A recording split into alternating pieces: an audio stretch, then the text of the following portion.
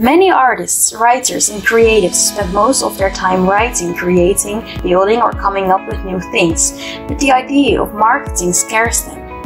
They end up having incredible content the world never appreciates because it doesn't get to know about it. If you are a creative person or hope to be one, this could be the wake up call you need.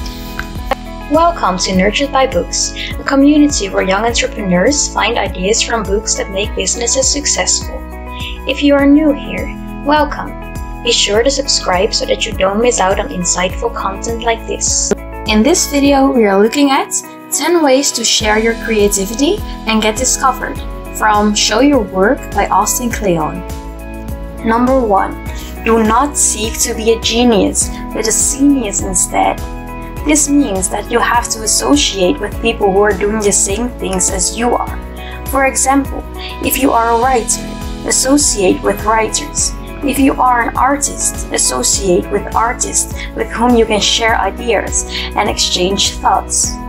The internet has made this easier. You can find anyone and everyone online today. You do not have to be a genius to create, you just have to start. Number two, the second step is to be an amateur.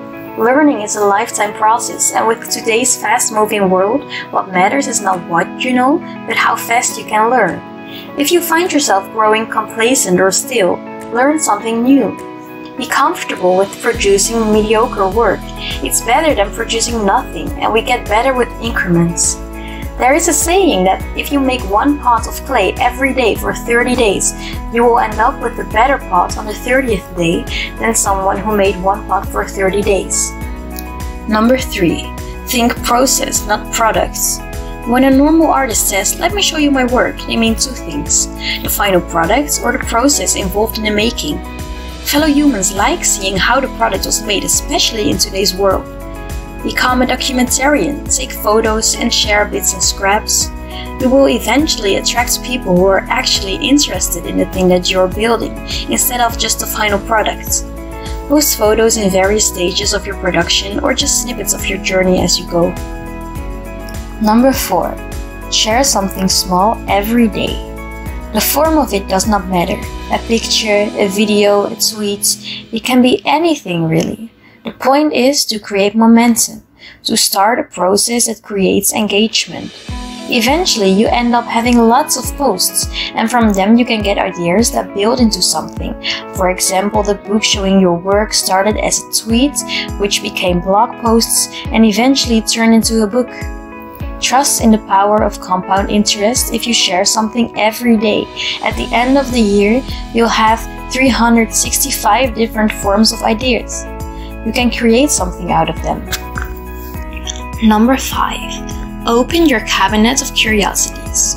As a creator and an artist, we get inspiration from so many things. We collect our ideas from all over the place. It could be books, music, a personality, or even nature. Sometimes we're tempted to keep all these sources to ourselves. But if we can learn to share the sources and to credit the people who help us create, it opens us up and allows the people we are sharing with to learn something more about us and the people who inspire us. Always remember to give credit to those people. Mention them, tag them in a post. Share with your audience about what makes you you. Number 6. Learn how to tell stories. Many creators say, my work speaks for itself, but the truth is, our work doesn't speak for itself. Human beings want to know where things came from, how they were made, and who made them. The stories you tell about the work you do have a huge effect on how people feel and what they understand about your work. And how people feel and what they understand about your work affects how they value your product.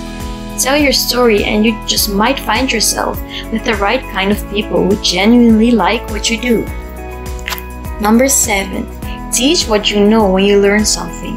Turn right around and teach it. We become better through repetition rather than through knowing what needs to be done. Most people prefer keeping their knowledge secret, maybe in fear of competition. But guess what? Knowledge is useless unless applied. So teach, because it doesn't create competition, it creates a loyal fan base. By teaching, you are helping yourself understand your craft even better, because you have to fully grasp what you are doing before teaching it to others. Number 8. Don't turn into human spam. Stop worrying about how many people follow you online and start worrying about the quality of people who follow you. If you want fans, you have to be a fan. Share other people's work, be a connector. If you want to get, you have to give. Don't be creepy, make stuff you love and talk about stuff you love, and you'll attract people who love that kind of stuff. It's that simple. Number 9. Learn to take a punch. The minute you put your work out there, you are opening yourself up to criticism and people's opinions that might be bad, ugly, or good. If you don't know how to take a punch, the ugly comments will get to you. So brace yourself as you post, as you show your work, and learn to ignore the people who will be there to discourage you. Number 10. Sell out. An artist has to eat, so don't be afraid of asking people to buy your products or donate or contribute in one way or another. Keep a mailing list. This keeps you in touch with the people who are interested in your product. Stick around. Don't quit your show.